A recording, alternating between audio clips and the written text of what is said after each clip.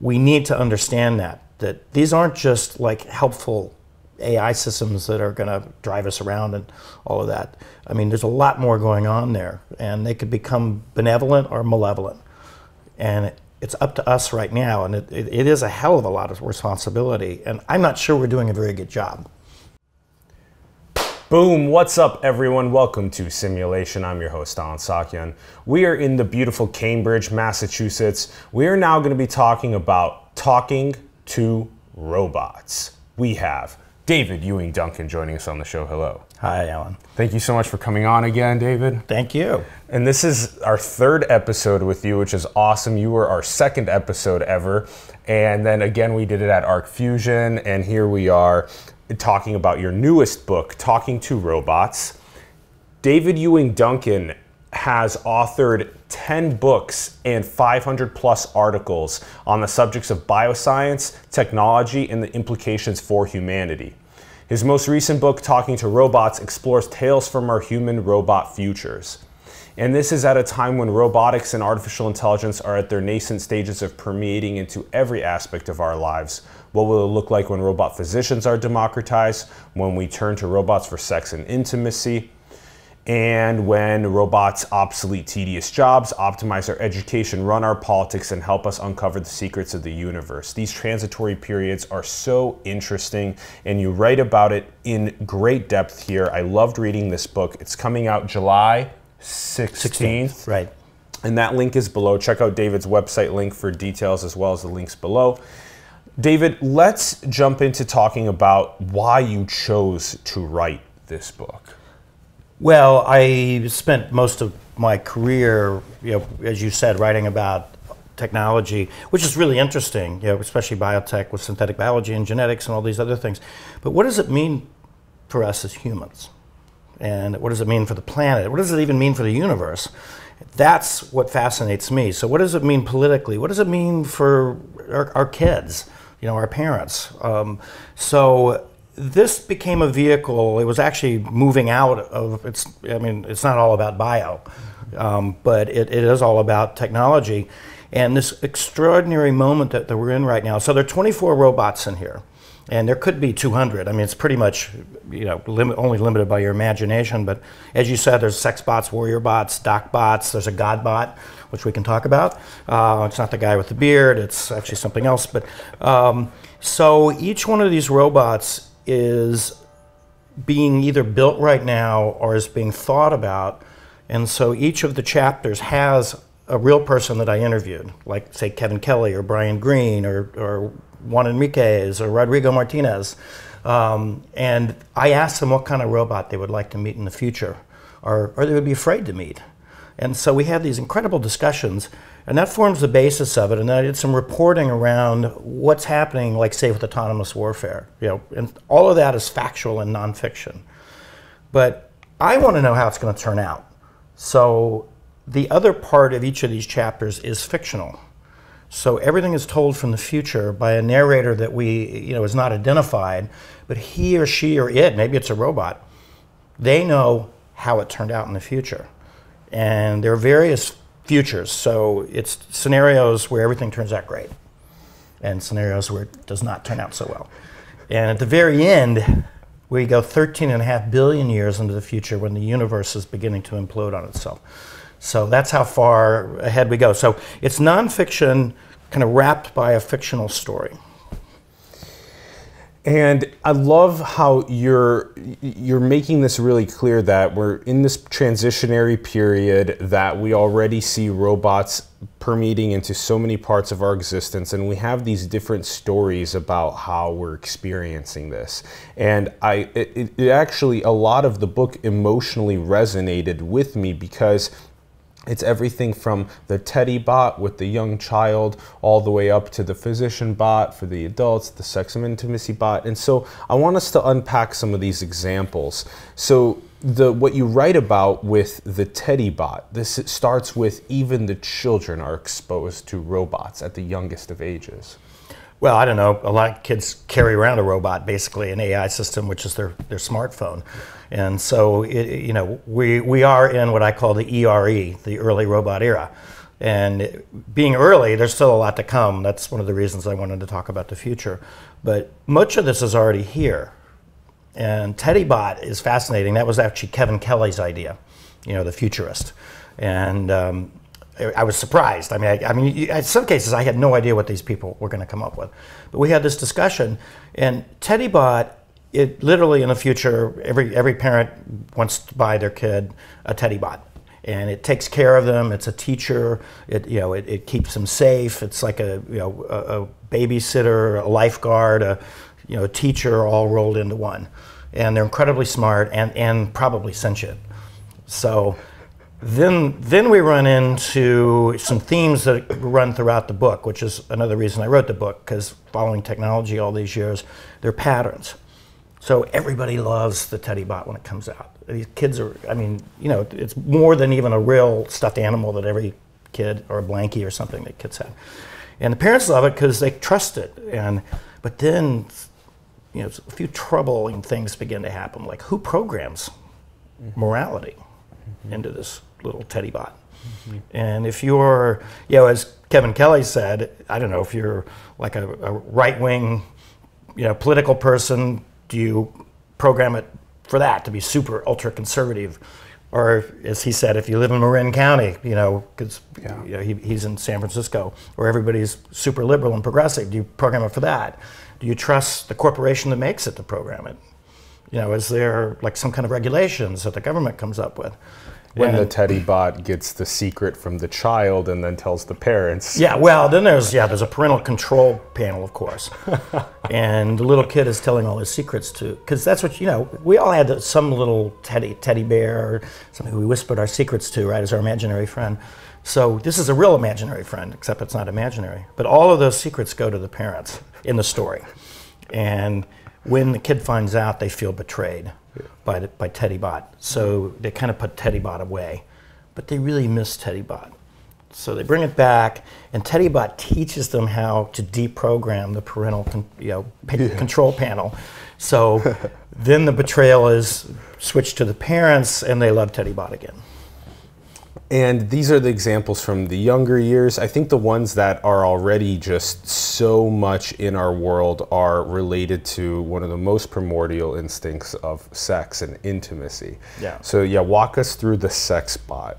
Um, well, just to kind of finish the arc, which is for Teddy Bot, but it's for all the other cha- many of the chapters. Yes. We go through this love period of it's like our phones. We've already done this. I mean, I don't know. I mean, we could do this almost any technology. But then we, we discover that you know technology is always a double edged sword. Mm-hmm. They're great things if they're used intelligently.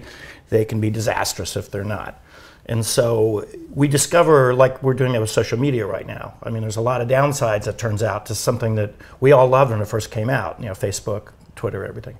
Um, then we're in a period now, in fact, with social media. Like, what do we do with it? Do we regulate it? Do we, you know, break it up? You know, should Google be several companies? I mean, all these issues, which has happened before. So that's why it's fun to extrapolate into the future because that will happen with all of these technologies, and in some cases it already is.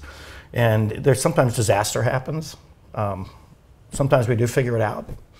So anyway, the sex and intimacy bot. Um, and by the way, it started out, yeah, I called it sex bot because there are actually sex bots right now. I mean, we, we mm-hmm. fembots, you know, or whatever. There aren't a lot of men bots, um, which in itself is sort of weird and, it, and slightly creepy. But um, so um, I was talking to Esther Perel, who, you know, the famous uh, sex and relationship therapist, and she got kind of a, you know, upset with me for calling it. A, she said, "How boring is that?" It's like, you know, it's like sex is so boring without intimacy. So this should be an intimacy bot. So I said, okay, fine. And in fact, the advertising and marketing for the sex bots that are out there, and I felt weird, by the way, Googling like sex bot. It's like I'm sure somebody was tracking me on that, um, looking over my shoulder. But um, these things, they actually advertise them as companions. I mean, yeah, you, you can have sex with them, but they're really about people who are lonely or they want a companion mm-hmm. or somebody that I don't know doesn't talk back to them except to say how wonderful they are, mm-hmm. uh, reinforcing. Mm-hmm. And some of them have AI, and they actually text you at work saying, "Can't wait for you to come home. You know, how's your day?" Mm-hmm. Um, mm-hmm. I mean, the most expensive ones cost thirty thousand dollars, and they're developing even more expensive ones that have advanced AI. So, but that's to be able to interact with you.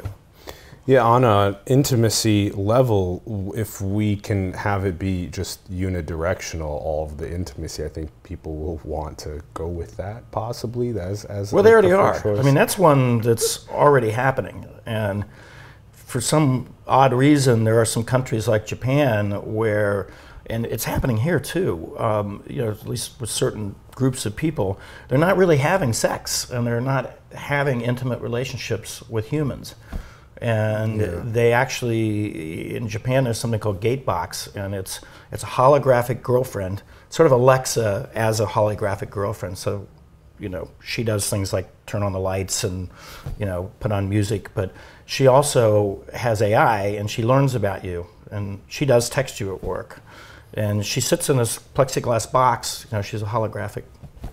Um, she and these things sell out the minute they, they make a new model. Yeah, the way that this is uh, already altering our world is bananas, and it's important to, to talk about it and have more conversations. And books like this inspire that. I want to go. Uh, I want to bring up this bot, and I'll bring up the point that you mentioned earlier. So you have a, chapter in here as well on the warrior bot, and we're experiencing a lot of pressure to ban lethal autonomous weapons right now, uh, geopolitically and you bring up how technology this is kind of one of the uh, this core reoccurring themes of the book is that it's a double-edged in the sense that we want the benefits of the technology but we need to morally and ethically evolve to prevent some of the malevolences that could evolve yeah. so maybe speak to that point while you speak on the warrior bots as well well, yeah. I mean, any almost any of these powerful robot or AI systems could go very bad, badly and you know we've seen it in movies and i do um, you know like there's a lot of popular culture in here too because um, you know we, we've already imagined over and over again throughout history what it's like for a super being. It could be a god or i don't know an avenger or you know mutants or whatever. I mean it's funny we we've, we've we worry about this all the time. And part of it is that we're trying to understand ourselves. And the reason that this is Tales from Our Human Robot Future, it's really about humans. And you know, we've had like God, God, every major culture had a god of war or a goddess of love, and you know, these were to them real godlike figures that were powerful. Um, but I always loved the, like the Greek gods because they also quibbled in such human ways. And we've always tried to understand ourselves through, you know, these imaginary creatures, except now we can actually build some of them. And they can be quite powerful. But because they're reflections of us trying to understand what's good and bad, how do we program that in for, you know, an AI system, especially something like autonomous warfare? I mean, right now we don't. I mean, there's, there's nothing programmed into um, you know, DeepMind when it's playing Go um, or chess. Um, there's nothing, you know, there, there's no morality there. You know, there's no ethics. It just plays chess, and that's the problem with autonomous warfare. They're basically just being designed, you know, to be uh, weapons and to destroy. And some of the, it's pretty troubling how a lot of programming around winning is getting in. Go, chess, all you know, Jeopardy, all of these systems are designed to win, ultimately. And is that what we really want in our? I mean, we want to win if we're having a war, I guess. But these are such powerful systems; it would be over in two seconds. Um, Maybe it's about the augmentation of the human experience rather than the the instinctive win. But then again, maybe for something like uh, eradicating a mutation, then maybe it is a, yeah. a, a win. Yeah, yeah.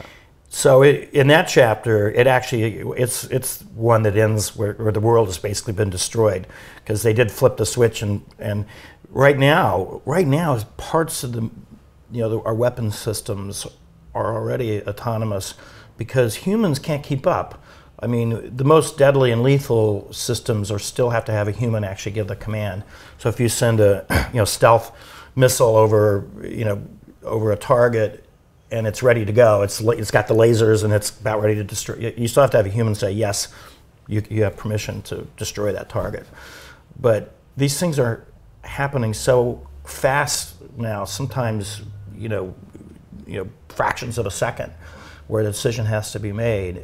It, it's there's already a discussion about somebody will go autonomous, and then we have to, because you no human could ever keep up with that.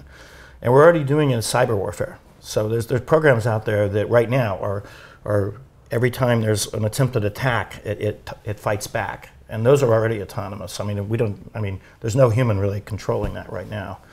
But, but in the future, yeah, the world is destroyed because, you know, basically these, all these systems were designed to win at chess. And they decide that, okay, we have to win. And that, that's got a little trick ending, but there's a small group of humans that survive. And anyway, I won't mess up the story, but we may or may not have destroyed the world. You walk us through these really important tales of our human robot interactions and experiences because you, in a sense, want us to be able to reflect and really prepare better for the future.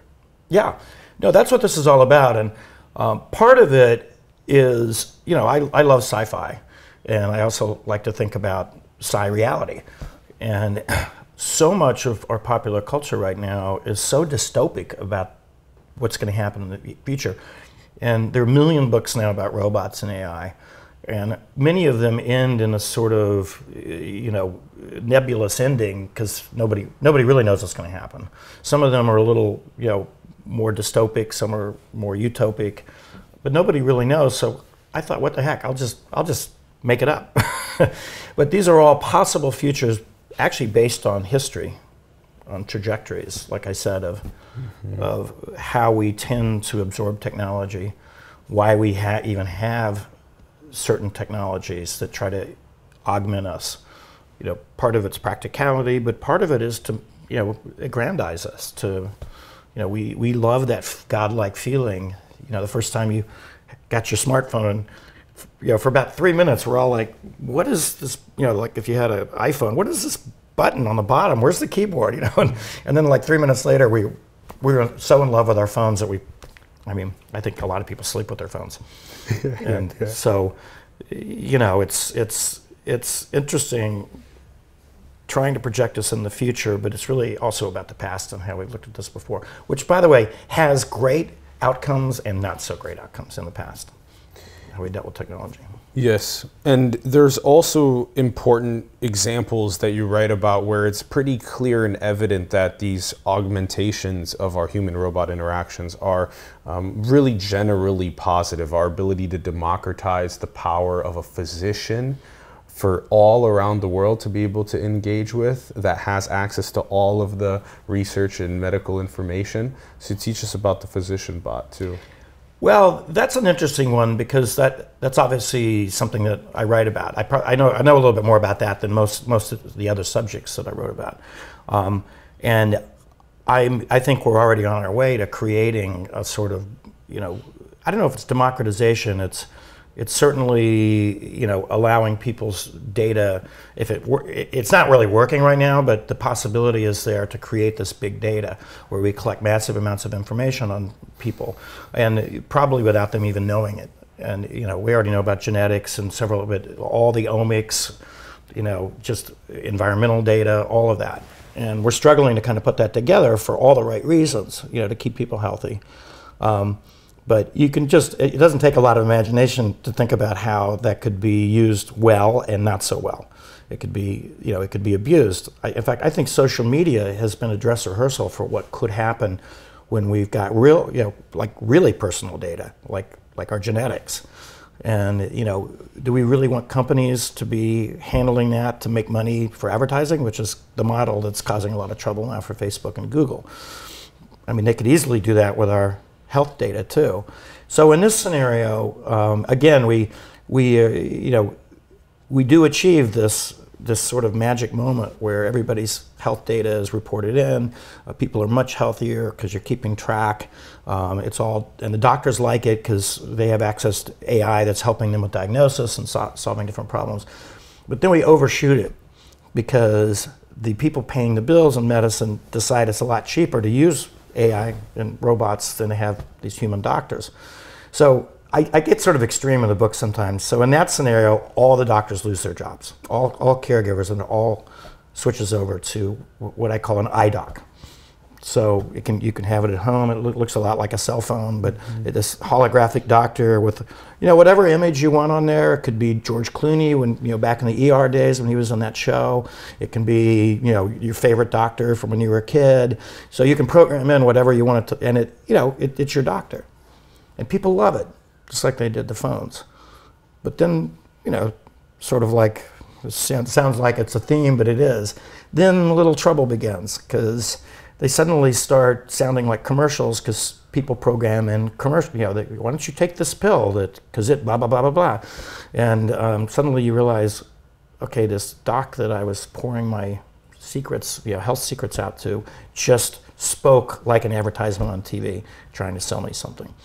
And then it, so we have this moment where, in the future in the story, where um, we, we become less trustful of these, these doctors.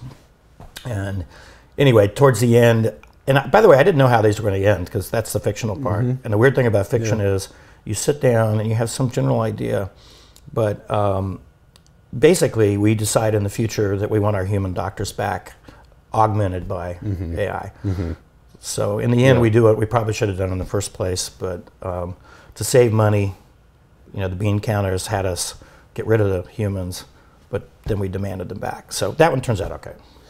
And you called it a dress rehearsal because that's kind of what social media has been in a sense that if we don't fix some of the the moral ethical issues that we have right now, um, we will potentially see it happen again with the bioeconomy. And I think this is again one of those. I want to I want to hear your thoughts on this. When when when you write something like this, do you how how do you then also um, help engage the families around the world to care more? What kind of a what kind of messaging could they could they follow through with to have a better conversation between themselves and their families around how to engage politicians or corporations or their communities around subjects like this? Well, I just think we need to be smarter about it, and we need to communicate it better. I mean, I, I you know, I, I, I, I'm giving a talk um, later this week, and the basis of the talk is what I'm calling the Robo Love Fear Meter.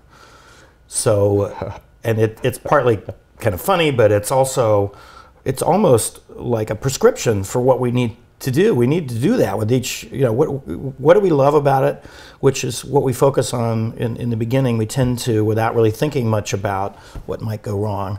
And only later do, do we fear it in some way.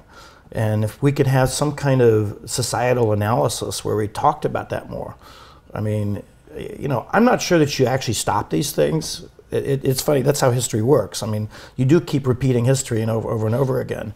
And even though you know those that don't know history are doomed to repeat it, well, it repeats anyway. but you can learn from, you know, you can shape it by having learned from it and talking about it. So, I mean, we've managed to do that in a few areas. Like, there's only been two nuclear bombs dropped, which is, to me, remarkable because we come so close so many times. So we somehow learned that dropping a nuclear bomb on a city is not a good idea. And so some of these systems are, are almost that powerful. Um, in fact, some of them will be. And, you know, hopefully we, we will learn a little bit from the idea of, you know, not loving them so much that we forget what, what, what we should fear from them. And by fear, I mean the things that could go horribly wrong that we can probably fix here in the ERE, where we are now in the early robot era. We have, you know, we, we have an opportunity now. In fact, we have a responsibility We do, yeah. because this is the basis for what our kids and grandkids and future generations. So if we screw up the basic programming, mm-hmm. and you know, the generations to come will not thank us. Yeah, this is an- another important aspect of the ERE. So the early robot era has both the beauty in the feeling and the emotion around how we first transitioned to robots and the stories we have with that, but also it has the importance of this is the time that we have to focus on getting it right. Don't do you take a look at what social media version 1.0 did? Uh, now look at how we're scrambling to figure out how to make 2.0, uh, you know, pre 2020 election. Like, how do we prevent issues from happening again? So let's embed in the early robot era all of the right geopolitical codes that we need um, through either United Nations, through the corporations agreeing. We need some sort of a cohesion around eradicating malevolence, using it for augmentation purposes, because there are just so many benefits, and we want those benefits. But we want to make sure that we do it in a way that is intelligent and yeah. Well, I think it's one of the most pivotal moments in, hum, in, not only human history, but because we have so much control over the planet and even planetary history. Yes. Um, because we are a species that is learning to self-evolve, you know, through synthetic biology and genetics, you know, gene editing. We're a society that's building these robots that really could destroy us, you know, in, in about three seconds if you know if we if they really unleashed the full full you know full potential of, of autonomous warfare. Um, we've never really had any of that before. And we, you know, we are humans and we, we can be very noble and do amazing things.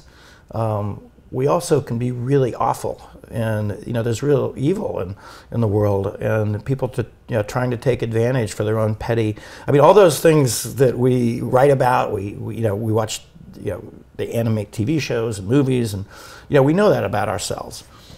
So the question is which, which is going to win out here? And we don't have a lot of time like we've had with previous. I mean, we had, you know, God, what, tens of thousands of years, like with fire. Mm-hmm. I always loved that. We discovered fire. There probably were pro-fire and anti-fire people. oh my God, it can burn down the village and kill people. And the other people, yeah, but we can, you know, cook, cook. meat and we yeah. can stay up at night and draw paintings, yeah. you know, draw on cave walls. Yeah. And that debate is still here, except these systems now are running everything, and they're it, they're very fragile. They're also very stupid right now, which um, I mean, one of the interesting the narrow intelligence for now. Well, think about Siri or Alexa. I mean, we, we want it to be much better than it often really is. I mean, how many times does Siri say, I don't understand that question, or has some pre programmed, you know, silly answer which basically says they don't know what you just said? and, you know, would you want to have Siri in charge of our, our autonomous you know, warfare system? Mm-mm. Like, I don't understand that question. I, will just go ahead and send the missiles. so, and give us a quick taste into the. At the end, you give these examples of the Matrix bot and the God bot. Give us a quick taste into what happens in this transhuman transition. Yeah, well, Matrix bot was uh, was Tim O'Reilly's robot, and he's you know O'Reilly Media, you know, big, a big figure in, in Silicon Valley and the in the IT community. And also, uh, they call him a, he's been called the Oracle of Silicon Valley because he's, he just, he thinks way in the future. And he is really on the fence right now on, on if we're going to have a glorious future with technology or, or we are going to all die. And one of his fears is that we are actually living in a version of the Matrix right now. It's not like the movie, but every time we engage with Uber or with Airbnb or Facebook, we are human inside of an AI system. I mean, the AI is guiding when you know when you summon an Uber, it goes to a, a computer, an AI that finds you, connects up with a driver who you know who then is another human, who is directed to you, and we don't think of it that way. But in that scenario, in the future, um, we do end up actually in our all each of our own matrices. Mm-hmm because they become so real that we lose sense of what reality is. Because mm-hmm. in the future, they're holographic. If you don't just do a Wikipedia search, you, you know, on World War One, you actually go into a holograph version of World War One, mm-hmm. and the in that in the fictional story, the, the giant AI brains that run all of this decide that we should we one day we should all just be in whatever we're whatever you know version of the internet that we happen to be in which we you know, which is very real because it's holographic. It's like the holodeck. So some people are trapped in I don't know. They might be look, looking up starships. They're in a starship, which is cool. They're trapped in there, but you know they don't even know it. Other people might be trapped, you know, back in the trenches in World War One. Not so good. And anyway, that story later on, and Tim helped me with to develop this, which is fun. Um, one day, the, com- the computers all let everybody out of their their pods where they've been in this matrix and they're back in the real world. But the computers have fixed everything, so the planet's wonderful. It, but then we all get a message from Tim O'Reilly, who's still alive someplace, who says, You are now in the real matrix. and the machines say, "Oops, that was an error. Delete." And we all kind of look at it for a second and we delete it because we love the we love the world we're in. We don't really care if it's symmetric. And then uh, the last, the Godbot. Yes, Godbot. So that is uh, Brian Greene. And again, I you know interviewed somebody for each of these chapters. So he's the physicist, you know, the, the theoretical physicist uh, who's written the, the, Elegant Universe and um, amazing books. And he wanted a robot that could explain to him the secrets of the universe, because he said, you know, I spend all day long, night, a lot of nights, trying to understand how the universe began, how it will end, you know, black holes, all these things through mathematics and, and theorems and, you know, and, and, and you know, basically it's speculation. Mm-hmm. He said, I want a robot that can actually tell me all of that. And so we had this discussion, and after a while, I said, "Well, that's kind of Godbot. That's like, I mean, not the God like in heaven with the beard, you know, not a religious God, but it's the God, you know, that made the universe, basically. The secrets um, of the universe, learning them. Yeah. So in that one, in the in the distant future, we actually do have Godbot, and if you had Godbot, and and Brian also wants to be able to visit the or you know the Big Bang when it happened. Yes. So he wants to be able to move across time. That's right. So that chapter starts with we we all remember because this is told from the future. We all remember when uh, the, the, fourth dimension uh, became moot and time and linear time ceased to exist. Mm-hmm. So in that scenario in the future, uh, everybody's can you can be any place you want, which is of course confusing to a lot of people who pr- prefer to be on linear time. Mm-hmm, mm-hmm. But anyway, that's such an exciting part of being able to browse through different places and periods of time. And yeah, yeah at, at on command qualia catalog of experiences. Yeah. david um, let's do let's let's wrap on um, on just your overall sort of um, you know we kind of we've been touching on this as we've been going through it just it's such a critical time. This is the early robot era. We're finally starting to get the the increase in compute as well as all of the engineering that and designing that's happening in our world with robots. What would be like a really good takeaway message for people? Well, I, I think it's something we've been talking all along, but just to kind of summarize it, um, we are at a pivotal moment in, in, in human history where things that we've dreamed about and, and feared about ourselves, we actually are able to build versions of those. And what are we going to do with that? And I think we need, first of all, to understand that. And if there's no other message that gets out from this book or any discussions that you know I might have or others, um, we need to understand that that these aren't just like helpful AI systems that are going to drive us around and all of that. I mean, there's a lot more going on there, and they could become benevolent or malevolent. And it's up to us right now, and it, it, is a hell of a lot of responsibility. And I'm not sure we're doing a very good job. So it's up to us to make sure that we do a good job. And it's thanks to people like you that write books like Talking to Robots that get us thinking more deeply about this transitionary era. Well, I appreciate that. Thank and you, David. Thank you so much for talking thank to you. us and coming on great. the show. Really appreciate it. Everyone, check out Talking to Robots. It's again, it's July 16, 2019. The link is in the bio. Check it out and have more conversations with your friends, your families, your coworkers, people online about this early robot era and how we can really maximize benevolence as we make the transition. Check out David's other links in the bio below as well. Also, support the artists, entrepreneurs, and organizations around the world that you believe in. Support simulation so we can continue doing cool things like coming to Cambridge for interviews. The links in the bio for us as well. And go and build the future, everyone manifest your dreams into the world. Thank you so much for tuning in, and we will see you soon. Peace.